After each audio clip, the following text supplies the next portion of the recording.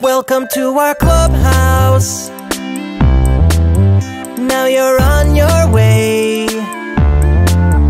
You'll have so much fun here while you learn today.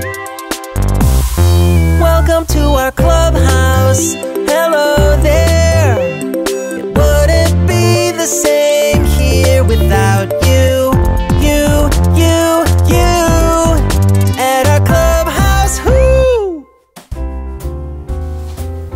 You guys. It's me, Maddie.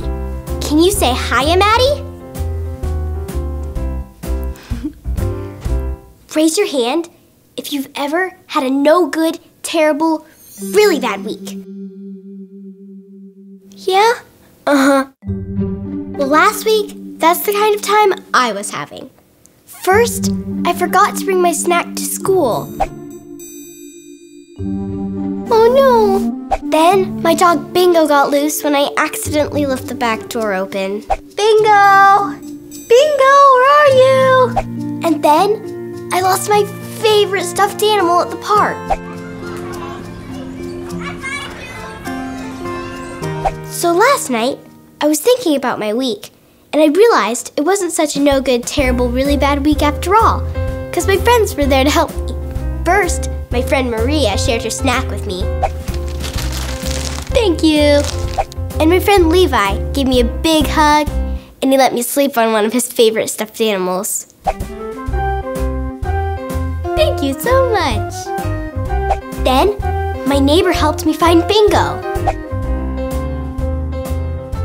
My friends helped make my bad week better, so that's why I've decided to throw them a Friendship Day party. Hoo, hoo. Did you hear that? It's Ollie. Hello, Maddie. Hoo, hoo. You sure look excited about something. Yes, you do. Hi, Ollie. I am excited. I'm planning a Friendship Day party for all of my friends. Friends are very important. It's true. And I have a story about friendship to share with you. It's a story from the Bible.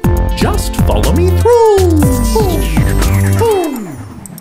Follow me through.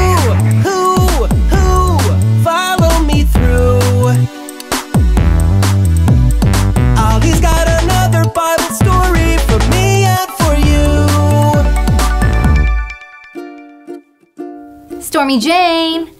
Stormy Jane, where are you, girl? I have a treat for you. Oh, there you are, silly dog. There you go. And I see you brought Goldie with you, too. I should have known. Goldie, I bet you want a treat, too, don't you? Okay, here you go. Oh, hi, friends. I'm Carrie, and this is my best dog, Stormy Jane, and her best friend, Goldie. They do everything together. Wherever Stormy goes, Goldie goes too. See what I mean? They play together. they share toys. They even eat treats together. One more. they are such good friends. Which reminds me of some good friends in the Bible. You want me to tell you about them? If you do, bark like a dog.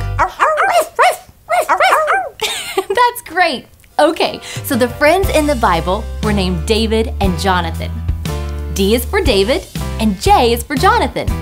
Now, Jonathan was the son of the king, King Saul, and David worked for him. But when David wasn't working, he and Jonathan would hang out together. They would have the best time laughing and eating together. When Jonathan would tell David a secret, he knew David wouldn't tell. They were each other's favorite person. Jonathan even gave David the robe off his back, and his sword, and his bow, and his belt. They were really good friends. They both wanted to honor God, and God had given them each other. And you know what? God gives us good friends too. Think about it. Do you have someone you like to play with? You do? Well, do they make you laugh? Like, ha ha ha ha ha ha. They do. Do you share with them and do they make you happy? They do? Well, then God has given you a good friend too.